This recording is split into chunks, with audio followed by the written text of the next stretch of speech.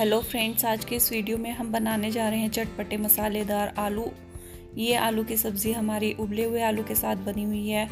आप इसको रोटी के साथ, पराठे के साथ, किसी भी चीज़ के साथ ट्राई करें, आपको खाने में बहुत टेस्टी लगेगी।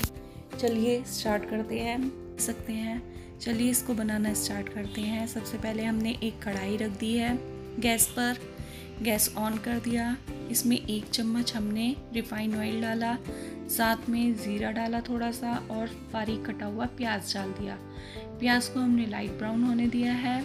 इसके साथ हमने थोड़ा सा कसूरी मेथी क्रश करके डाला है। कसूरी मेथी ज़रूर डालें।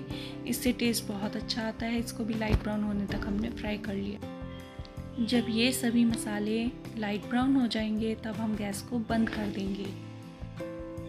अब हम यहाँ पर तीन उबले हुए आलू ले रहे हैं।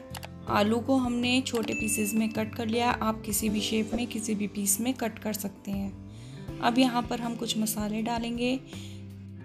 यहाँ पर लाल मिर्च पाउडर हमने डाल दिया, काला नमक डाल दिया, थोड़ा सा हल्दी पाउडर डाला साथ में, आधा छोटा चम्मच आमचूर पाउडर हमने इसमें डाला है। आमचूर पाउडर नहीं है। तो आप चाट मसाला भी डाल सकते हैं, इससे टेस्ट बहुत अच्छा आएगा। इन सब मसालों को डालने के बाद हम आलू को अच्छे से मिक्स कर देंगे और लो फ्लेम पर इसको तीन मिनट तक कवर करके पका लेंगे बीच बीच में चम्मच चलाते रहना।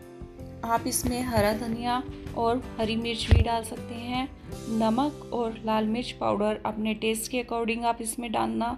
अब तीन मिनट के बाद यहाँ पर हमारे आलू बन चुके हैं।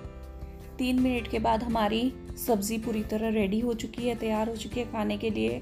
अब हम गैस को बंद कर देंगे। फ्रेंड्स अगर आपको हमारी वीडियो पसंद आई तो एक लाइक ज़रूर कर दें, चैनल को सब्सक्राइब कर मिलते हैं फिर अगली वीडियो में।